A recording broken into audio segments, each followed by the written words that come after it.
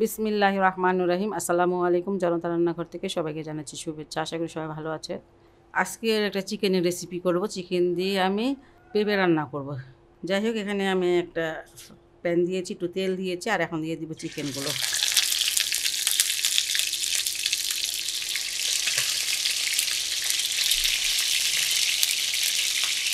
আর এখানে আমি চিকেন নিয়ে নিয়েছি সাতশো গ্রাম। একটু ভেজে নিব। এতে কোনো লবণ দেওয়া লাগবে না, এমনি ভেজে নেবেন লবণ দিলে অনেক পানি বের হয় আর আমি চিকেনটাকে ধুয়ে, পরিষ্কার করে ধুয়ে তারপরে আমি একটা শাকনিতে রেখেছিলাম যাতে কোনো পানি না ওঠে। চিকেনগুলো আমি চার মিনিটের মতন ভেজে নিয়েছি, বেশি শক্ত করা যাবে না কিন্তু। এখন আমি এটা নামিয়ে নিব। চিকেনগুলো উঠিয়ে নিব।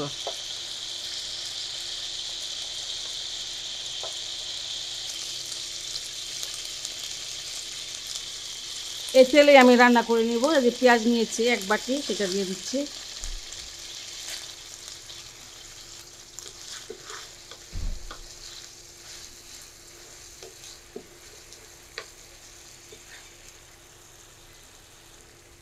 এখানে একটা তেজপাতা দিয়ে দিলাম। এলাচ দানা আর দারচিনিটা দিলাম। এলাচ দানা পাঁচটা দিয়েছি, দারচিনি দিয়েছি, চার চার পিস পেঁয়াজের সাথে এগুলো আমি একটু ভেজে নেব।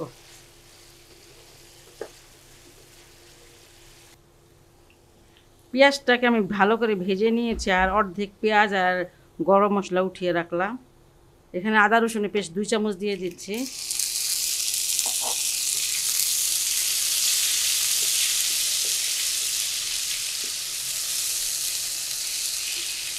একটু পানি দিয়ে দিই পেঁয়াজটা একটু আঠালো হয়ে গেছে, কারণ আগে তো চিকেনটা ভেজেছি, চিকেন, চিকেনের ভিতর থেকে একটা রস বের হয়েছে, সেই জন্য মানে একটু আঠালো, কোনো সমস্যা নাই।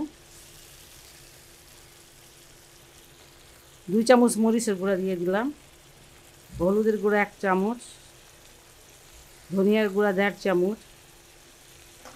পেঁপেতে মশলাটা একটু কমই লাগে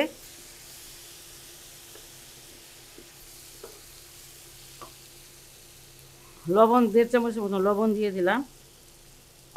এটাতে আমি আরেকটু পানি দিব। কষানোটা হয়ে গেছে, আরেকটু পানি দিয়ে আরেকটু একটু কষিয়ে নিব ভালো করে, যাতে কোনো মশলার গন্ধ না থাকে।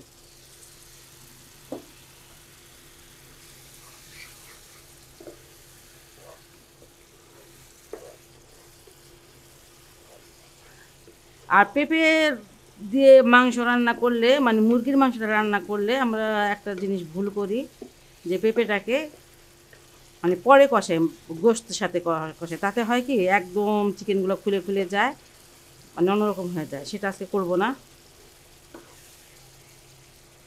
মশলাটা কষানো হয়ে গেছে, আর এখানে আমি দিয়ে দিচ্ছি পেঁপে। পেঁপেগুলো যে আমি একটু দেখিয়ে দিচ্ছি। একটু বড় করে কেটেছি, এই যে এইভাবে কেটেছি, এই যে এটা। একটু বড় করে পেটে পেঁপেগুলো কেটে নিয়েছি। এটা বোধ হয় আধা কেজি উপরে হবে। এটা গাছের পেঁপে তো মাপি নেই। আমি পেঁপেটাকে ভালো করে কষিয়ে তারপরে চিকেনটাকে দিব। আর এমনিতে হয় কি, চিকেন আগে কষিয়ে তারপর যদি পেঁপে দেয়, এমনিতে চিকেনগুলো খুলে যায়, কারণ কষানো হয়, নরম হয়ে যায়। আর পেঁপেটা তো এমনিতে মানে যে কোনো মাংসকে নরম করে ফেলে এই জন্য চিকেনটাকে আগে দিবেন না, আগে পেঁপেটাকে দিবেন, দিয়ে তারপরে পেঁপেটাকে ভালো করে একটু কষিয়ে নরম করে তারপরে দিবেন চিকেনটাকে। ঠিক আছে? এটা এখন আমি ঢেকে দিচ্ছি, ঢেকে এটাকে ভালো করে কষিয়ে নেব। পেঁপেটাকে আমি খুব ভালো করে কষিয়ে নিয়েছি। আর একটু যদি পানি লাগে কষাতে, অনেক সময় পেঁপে অনেক শুকনো শুকনো থাকে, পানি লাগলে আপনারা কিছুটা পানি দিয়ে নেবেন আন্দাজ করে। তারপরে ভালোভাবে কষিয়ে নেবেন। এখন আমি চিকেনগুলো দিয়ে দিচ্ছি। চিকেনের সাথে পেঁপের সাথে আমি আরও পাঁচ মিনিট কষিয়ে নেব।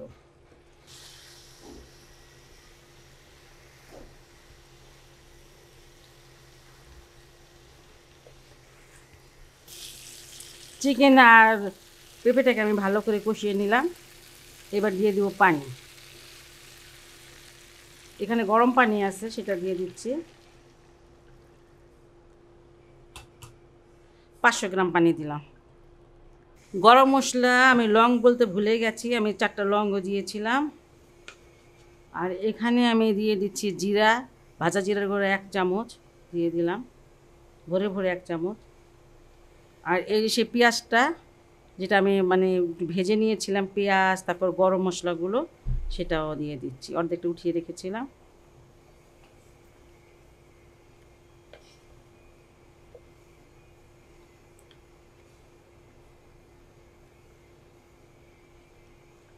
এখানে পাঁচটা কাঁচামরিচ নিয়েছি, একটু ভেঙে ভেঙে দিয়ে দেবো, এটা ফ্লেভারটা ভালো আসবে এই জন্যই দেওয়া। আর এটা আমি এখন ঢেকে দিব।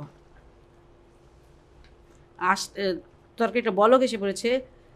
গরম পানি ছিল, এবার আমি আঁচটাকে কমিয়ে এটা কম হলে পম- পনেরো মিনিটের জন্য একটু রান্না করে নিব। পেঁপে দিয়ে মানে চিকেন কীভাবে রান্না করতে হয় সেটাই আপনাদের আমি ভালো করে দেখ- দেখিয়ে দিলাম। যাই হোক খুব সহজ যেটি রেসিপি আপনারা বাসায় অবশ্যই এটা ট্রাই করতে পারেন। যদি ভালো লাগে, তাহলে আমার চ্যানেলকে লাইক কমেন্ট সাবস্ক্রাইব করবে সবাই ভালো থাকুন, সুস্থ থাকুন, নিরাপদে থাকুন। এই দোয়া করি, আল্লাহ হাফেজ।